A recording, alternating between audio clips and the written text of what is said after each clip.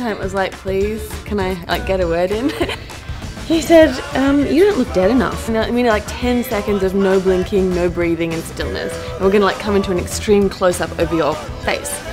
I was like, this is really hard because I don't have my contacts in right now. But that was hard for me. I find I sit much easier in complex, manipulative female roles for some weird reason. It's it's been discussed, but contractually, I'm not um, able to talk about that.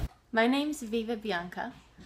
I wanted to take this moment to first thank all of you guys for your continued um, unconditional support of me and my various projects over the past few years.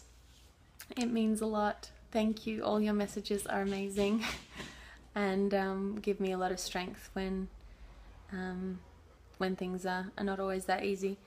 But also, I'm, I'm guessing that you guys have heard little whispers of this magazine project that I've been part of, and it's called SheRa Mag.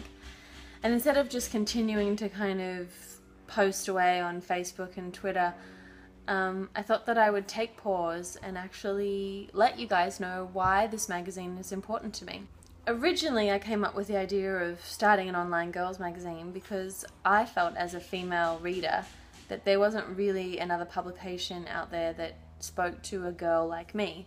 And that being like, well, pretty much a regular girl, but a girl that's educated, that travels, that's interested in stimulating and challenging dialogue, but also into, you know, playful stuff and fashion and girly things, but not wanting to just be pigeonholed as a girl that's purely interested in girly things. And so when I looked around, there was kind of your, you know, extremist feminist publications, or there was your, as far as I'm concerned, extremist girly girl publications.